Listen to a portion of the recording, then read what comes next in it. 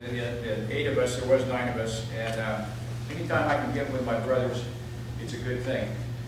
Uh, Actually, it's always good to see my friend Joe, because uh, we go, we go back to sixty-nine when we were, he was a, he was a corporal and I was a lance corporal, and we went to OCS together.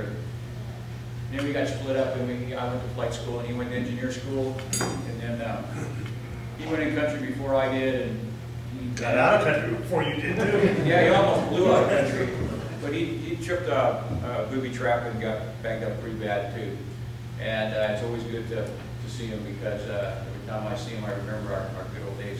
But one of the things that, you know, I really wanted, kind of wanted to share, now that you called on me, I'll just take a moment, and that is that, uh, last Sunday, our church did an honor of veterans in, in active service. And we were able to interview four Iwo Jima guys.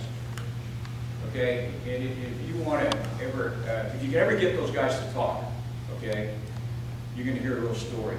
And these, four of these guys, uh, have taken the time to just tell us a little bit about what they did. And it was interesting, we had a guy that was sitting on a float, waiting to get in, but he couldn't get in because the beaches were so backed up with wounded and black bodies. We had another guy that was running them back and forth for the whole uh, 35 days. He was aboard a you know, little LST thing on the lobbers. He never got wounded or blown up or anything. That's just amazing. This, this is heavy rounds like that. Another guy was a battalion runner.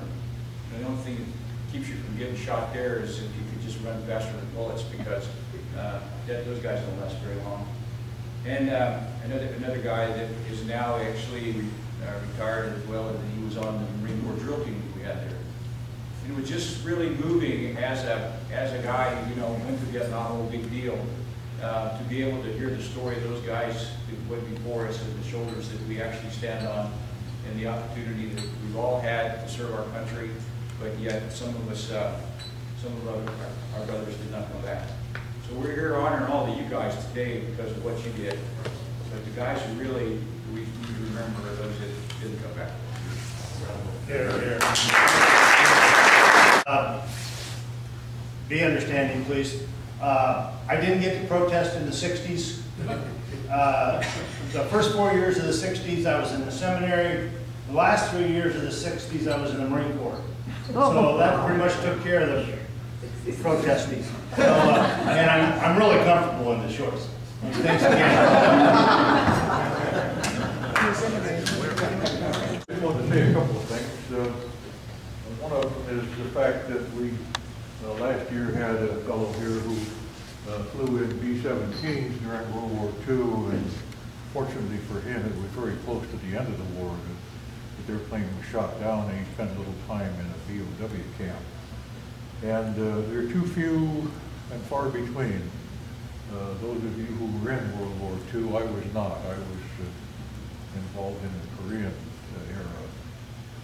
But uh, I've studied a lot about the war in Europe, and I've been to Duxford Air Base, which is where the, I have a personal friend who flew out of there, uh, P-51s and P-47s.